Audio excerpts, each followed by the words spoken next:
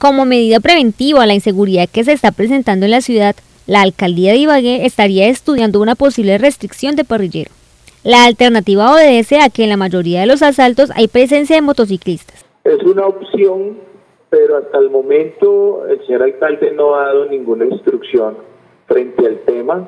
Sabemos que el 99% de los motociclistas en la ciudad de Ibagué son personas de bien, son personas que utilizan sus vehículos, motocicletas para eh, temas familiares, para temas eh, laborales pero lastimosamente ese 1% eh, utiliza este medio de locomoción, este medio de transporte para cometer sus actos eh, ilegales, sus hurtos, pero vuelvo repito, es una de las tantas opciones que se tienen, pero hasta el momento no se ha tomado ninguna determinación en torno a...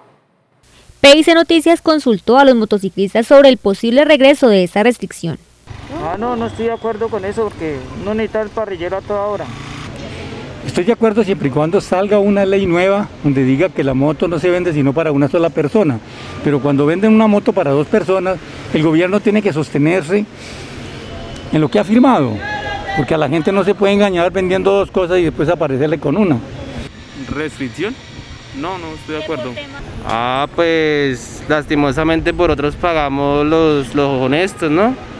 y pues no, la verdad no estoy de acuerdo porque en la moto no la usa mucho y facilita el transporte a otras personas de la misma familia y amigos. Entonces no estoy de acuerdo. Opiniones divididas, aunque la mayoría concuerdan en que la restricción estaría bien si solo fuera para hombres y en algunos sectores críticos de la ciudad. Bueno, sí, en la cuestión de los hombres y las mujeres no, me parece no, me parece necesario. Igual la autoridad no está haciendo presencia donde tiene que hacerlo, la verdad, falta mucha autoridad. Bueno, pues si es parrillero hombre, lo entendería un poco, la verdad. Sí, porque es que se ha prestado para muchas cosas. Eh, pero si es mujer, no. Pues por una parte estoy de acuerdo, pero pues no necesariamente tiene que ser en todo Ibagué, simplemente en las zonas como más comerciales. La administración municipal podría reglamentar la medida en las próximas horas.